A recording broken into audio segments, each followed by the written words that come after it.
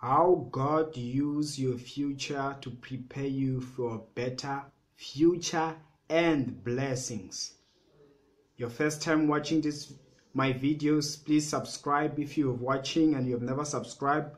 If you're watching again, make sure you subscribe now and hit the notification bell so that you're notified every time I upload new videos. You know, one of the greatest struggles in Christianity or with Christians is self uh, self condemnation, worrying about the past, past pains, and sometimes past mistakes as well. Uh, thinking God is no longer accepting them or is no longer accepting you. Let me tell you something about God. In fact, when you have a bad past, whatever mistakes, whether you killed somebody, whether you've been uh, been living in extreme sin, like don't allow that to bring you down no matter how sinful you've been in the past. Because that is a more of an advantage. Let me tell you you have the upper hand when you have a bad past and the the better the past the greater god can use you. I'm not saying this just to console you or something. I will i want to explain something relating to the bible I'll be referring to people in the Bible. Most people who've been used by God in the Bible are people who bad past with with serious mistakes. It's rare that you'll find someone in the Bible who was just a good Christian from the get-go and never had mistakes. But most people who were used very greatly, who were blessed greatly by God, are people with bad past why was that the case? Why was that the case? Okay, before I dive in, why was that the case? Let me give you an example. Anyone, if you go through a trial, for example, more likely God is going to bless you more. Just like Joseph, he was able to maintain God's blessings and maintain a greater blessings because he went through serious trials was betrayed by his brothers, was accused by a woman because she wanted to sleep with him and and he refused just because she was somebody's wife. He went to prison, but at the end he became second in command to the king of Egypt. He had a very bad past. Not a sinful past, but trials. And he was a good believer in God. He was a good, great believer. He never did any wrong. It's not like he was sinning before God. But that made God to be able to bless him so that he can maintain his blessing and to show that he had a good character. He was he did not even try to have revenge or exact revenge on his brothers for betraying him or to, attempting to kill him and selling him to Egypt. That's the great character he had because of what he went through and how much he believed in God. Another example, you can look at the likes of that lady uh, Rahab. The lady, that lady, she said she was a great grand, great great grandmother of of uh, of David. But in the beginning, she was not part of the people who went to uh, who went to Egypt. I mean, who went to Canaan.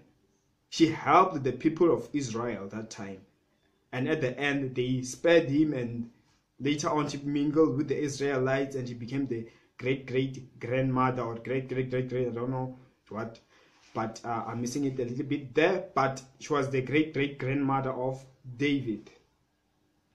But look whom he used. He didn't look for someone, and as a result, Jesus was the descendant of her.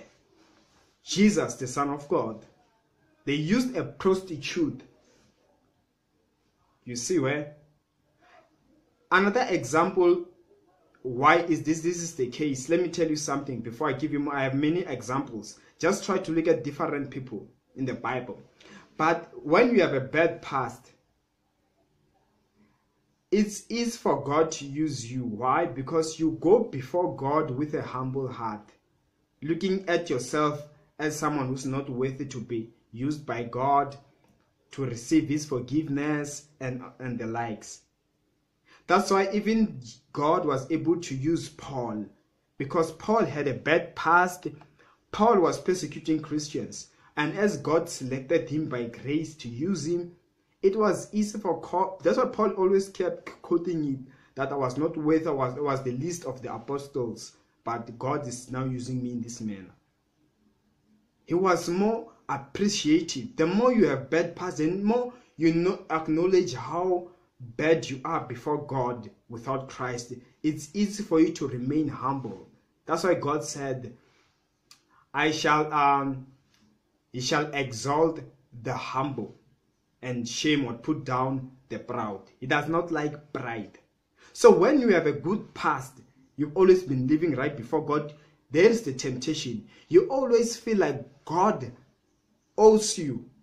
Most people who've been Christian from a young age, grew up in Christian families and all, that's why they are the most prideful Christians. And it's rare to find them being greatly used. Why? This is the reason why. Because they've been doing good, they've been praying, they've been living a holy life, a pure life, and all. And deep down, pride creeps in. It's almost like they can't help it. When you're in that state, you can't help it. You feel like God owes you. Why are bad things happening? I've always been praying, I've been faithful. I'm not just like that man who was boasting when give, Jesus was giving an example. He boasted that I give my tithe, I'm prayerful and all. Then one man who was humble was like, Lord, he, he started hitting his chest and said, Lord, I'm a sinner.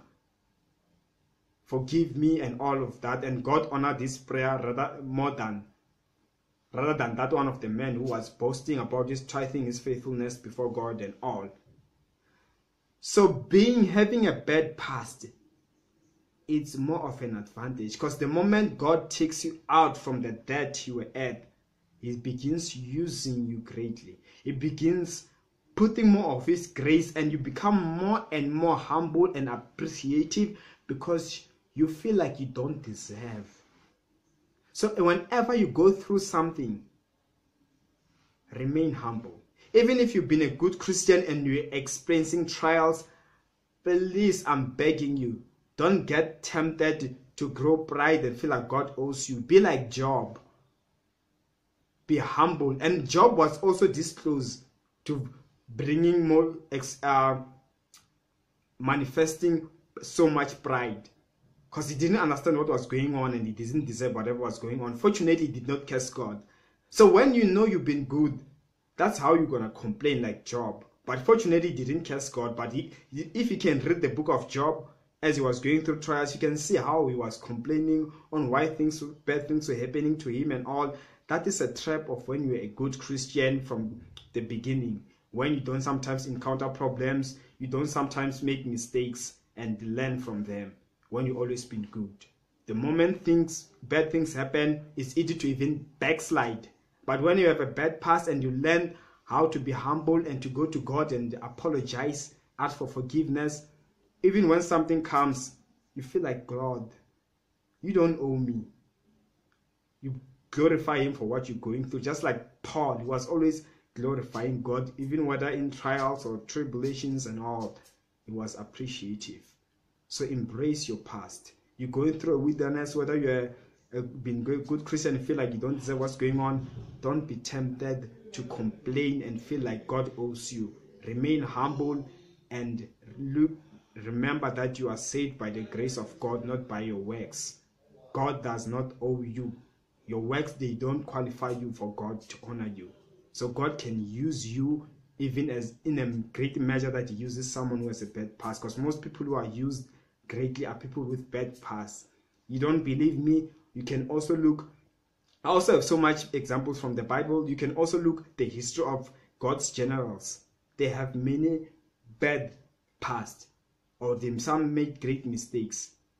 You can look at the likes of Kathryn Kuhlman, look at A. A. Allen. They had those things of drinking and all, like A. A. Allen, and so much more. Just look at them, read their history. You realize and they're the ones who are used greatly. But today we have many Christians who seem like they've been knowing God from a young age, but most of them, God never really uses them. So I hope you enjoyed today's message and like my video. Give it a thumbs up. Remember to subscribe and share with your friends, families, and all who might need such a message. Some who are going through depression as Christians and all. As for me, Ishmael, I will see you next time. Remember, you know what I'm about to say, right? Yeah. Subscribe.